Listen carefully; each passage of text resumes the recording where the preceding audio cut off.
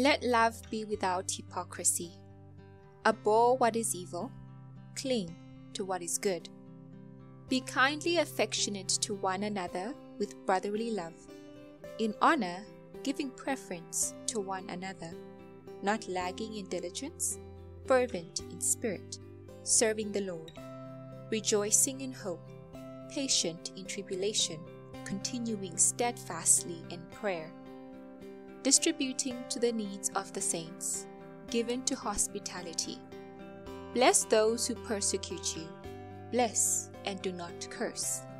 Rejoice with those who rejoice, and weep with those who weep. Be of the same mind toward one another. Do not set your mind on high things, but associate with the humble. Do not be wise in your own opinion. Repay no one evil for evil. Have regard for good things in the sight of all men. If it is possible, as much as depends on you, live peaceably with all men. Beloved, do not avenge yourselves, but rather give place to wrath, for it is written, Vengeance is mine, I will repay, says the Lord.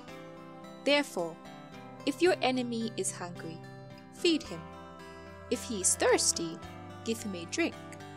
For in so doing, you will heap coals of fire on his head.